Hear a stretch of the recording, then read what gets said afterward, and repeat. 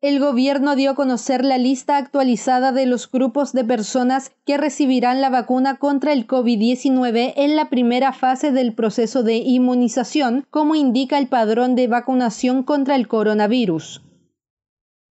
La modificación se realizó únicamente en la fase 1. En esta fase se busca proteger la integridad del sistema de salud y continuidad de los servicios básicos. En un principio, el MINSA señaló que en esta fase estaba comprendida el personal de salud del sector privado y público.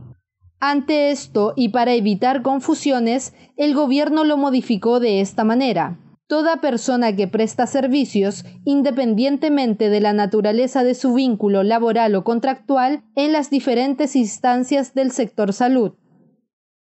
de esta manera, la lista de personas que se vacunarán en la primera fase estaría conformada por personal de las Fuerzas Armadas y Policiales, bomberos y Cruz Roja,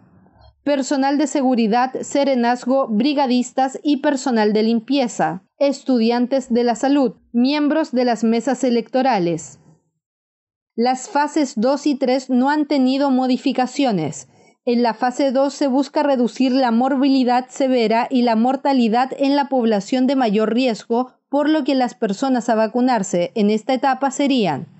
adultos mayores de 60 años a más, personas con comorbilidad a priorizar, población de comunidades nativas o indígenas, personal del Instituto Nacional Penitenciario, INPE, personas privadas de la libertad. En la fase 3, el objetivo es reducir la transmisión de la infección en la continuidad y generar inmunidad de rebaño, por lo que en esta etapa se procederá a vacunar al resto de la población mayor de 18 años hasta los 59 años.